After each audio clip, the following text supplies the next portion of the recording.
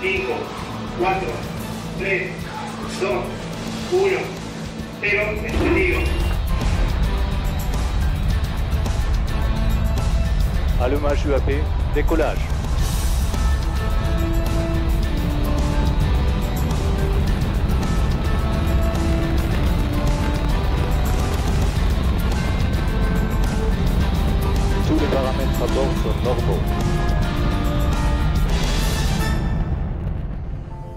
Since 2003, and through the Ministry of Planification, Public Inversion and Services, Argentina implements politics ensuring national sovereignty in terms of telecommunication, connectivity, and scientific investigation, leveraging the infrastructure, technology, and the presence of Argentina in outer space. In this context, the National Commission of Space Matters executes the National Space Plan, an integral program that promotes growth and strength of satellite local industry with the aim of putting into orbit communication and terrestrial observation satellites. This equipment will allow us to warranty television services, internet and telephone access in all territory. It will give information to increase productivity and competitiveness of the economy and will expand the horizon of Argentine scientists. The road to satellite sovereignty was driven by former President Nestor Kirchner, who decided to defend the orbital position assigned to Argentina and to give up renting foreign equipment as it was historically done. To achieve this, the Argentine Satellite Solution Company, ARSAT, was created, as well as the INVAP company, which took the challenge of developing their own communication satellites.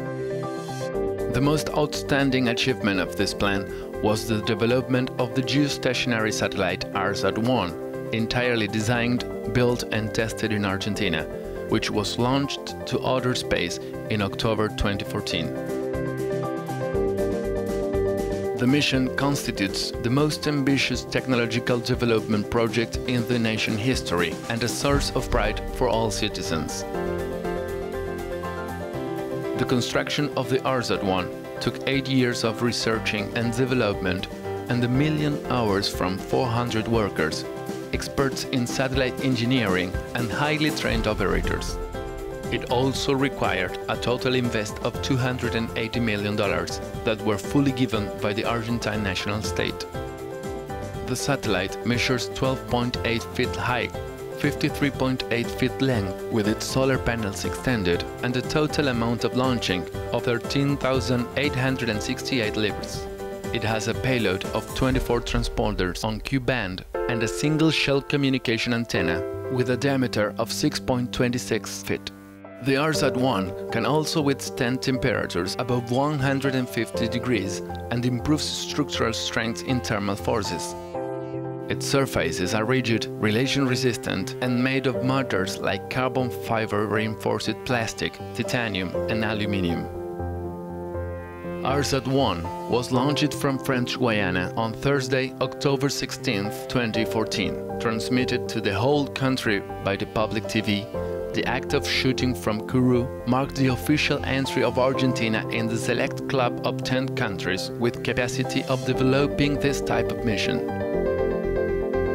From the earthly Benavides ARSAT station in the province of Buenos Aires, ARSAT staff and INVAP guided the satellite into orbit orbiting 35,786 km high and located in geostationary orbit 71.8 west, ARSAT-1 provides video services, television, internet and telephone services to the nation, offering the same quality connectivity throughout the country, including Malvinas Islands and Antarctica. Its main mission is to reduce the digital divide and build an Argentina that ensures access to information technology and communications.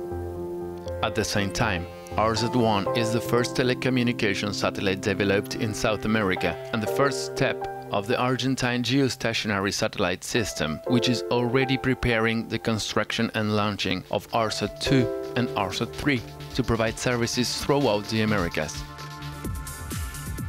The Ministry of Planification and the CONAE are working on the Tronador 2 project, meaning the construction of a launcher vehicle for Earth observation satellites up to 250 kilos, which belongs to the segmented structured SARE series. This enterprise is a central part of the National Space Plan, as it will allow Argentina to have the ability of developing complete satellite missions, the design, construction and launching of satellites. Argentina will carry into space other country satellites, becoming the only nation in the southern hemisphere with that ability. The Tronador project is developed through a series of experimental suborbital flight control vehicles called VX, which are used to test the technological maturity of the components of propulsion systems, avionics and structure necessary to meet the requirement of the launcher. In March 2014, the first launch test was made of an experimental vehicle, VX-1A, from Punta Indio in the province of Buenos Aires. This is a allowed gathering information needed to refine the engine and navigation, guidance and control in a vertical launch from an Earth platform. Later, in August 2014, the launch of VX-1B, 47 feet high and 2.8 tons weight, was performed the VEX-1B meets the programmed path flying for 27 seconds and reaching a maximum height of 702,017 feet, allowing us to check the propulsion system and steering. The testing phase of the Tronador 2 launcher continues with the series of VEX-5 vehicles. Copies A and B are expected to launch during 2015. Finally, the VEX-5C will be the last prototype before launching into space Tronador 2, which will act as a vector of extreme precision payloads. This new technology allows us, instead of building a single large satellite, to integrate into orbit a satellite observation mission of the Earth, consisting of smaller, lighter and simple satellites operating a network it is possible to share resources or capabilities, incorporating new segments and expanding the functions of the SARE satellites. As a result, Argentine Earth observation satellite transported by the Tronador 2 will be used to quickly respond to the requirements of data on land and sea areas for uses in agriculture, hydrology and environment response. Thus, it will generate useful information to provide the competitiveness of socio-economic and productive sectors of the country information. It is noteworthy that Argentina develops its space capabilities in harmony and cooperations with other nations, actively working, for example, with the space agencies of Brazil and Italy.